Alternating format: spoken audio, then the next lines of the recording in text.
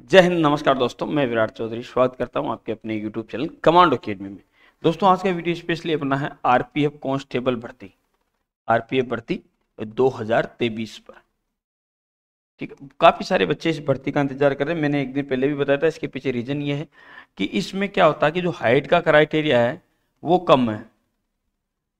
Height का criteria इसमें एक सौ पैंसठ सेंटीमीटर ही है। बाकी एस एस और दिल्ली पुलिस में 170 सेंटीमीटर है। तो उसकी बजाय इसमें क्या कि हाइट का क्राइटेरिया थोड़ा सा कम है। तो बहुत सारे बच्चे जिनकी हाइट मान के चलिए गुण सितर है, इकसठ है, इकसठ वो बच्चे काफ़ी दिन से इस भर्ती का इंतज़ार कर रहे हैं और करते करते हो गया है समय बहुत सारा। अब लगभग मैं आपको बता दूँ, ये वैकेंसी जो आने वाली थी, ये 2018 में आने वाली थी। कब आने वाली थी? 2018 में।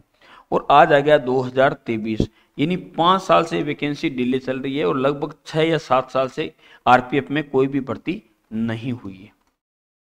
तो काफ़ी बड़े अनुमानित लगाए जा रहे हैं कि आरपीएफ पदों की जो भर्ती है, ये उन्नीस हज़ार से भी प्लस पदों पर ये भर्ती होगी। ध्यान आपको बता दूँ कि इसमें दोनों है, कांस्टेबल और एसआई।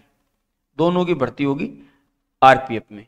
ठीक है? अब इस भर्ती का अभी अनुमान लगाया जा रहा है कि ये भर्ती, क्योंकि अभी आपको पता प्रधानमंत्री जी के द्वारा रोज़गार मेला चलाया जा रहा है तो इस भर्ती को ही उसके तहत निकाला जाएगा। अब यहाँ पर एक क्वेश्चन हो रहा है कि क्या इसमें एज में छूट दी जाएगी? जैसे कि एस एस में तीन साल की छूट मिली थी, क्या इसमें भी एज में छूट मिलेगी?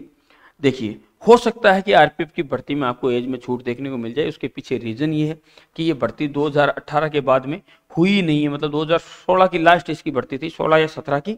उसके बाद में आरपीएफ में कोई भर्ती आई नहीं है। लगभग छह सात साल हो गए और जब भी ऐसा होता है तो एज में छूट देना लाजमी है कि वो डिपार्टमेंट एज में थोड़ी बहुत छूट दे सकता है। तीन साल की दे या एक साल की दे या दो साल की दे, वो तो जब वैकेंसी की नोटिफिकेशन आउट होगी तभी पता चलेगा।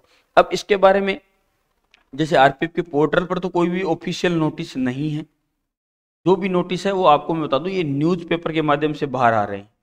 यानी न्यूज़ में किसी भी बोर्ड द्वारा जब भी कुछ बोला जाता है तो वो चीज़ें बाहर आए तो उसके अनुसार बताया जा रहा है कि ये वैकेंसी 2023 में ही होगी और लगभग उन्नीस हज़ार कुछ पदों पर ये वैकेंसी होगी ही होगी।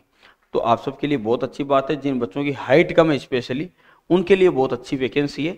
तो आप इसका इंतज़ार कर सकते हैं, बहुत सारे बच्चे इसकी तैयारी करेंगे नहीं करें, आप करिए इसकी तैयारी, क्योंकि ये भर्ती हो सकता है कि आपको अक्टूबर के महीने से पहले पहले देखने को मिल जाए इसकी नोटिफिकेशन ठीक है?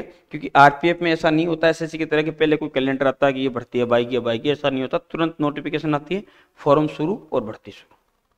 तो हो सकता है कि अक्टूबर के महीने तक इसके नोटिफिकेशन आउट हो जाए, क्योंकि अभी प्रेजेंट टाइम में इसके बारे में काफ़ी विवाद चल रहे हैं और काफ़ी चर्चाएँ चल रही है कि ये भर्ती होने वाली है भर्ती होने वाली है जय हिंद, जय भारत।